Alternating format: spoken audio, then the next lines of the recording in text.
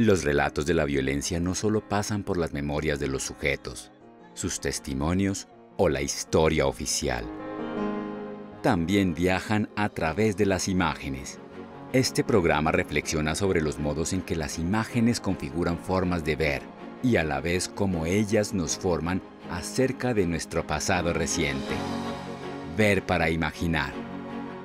Historias con futuro en tiempos de pandemia.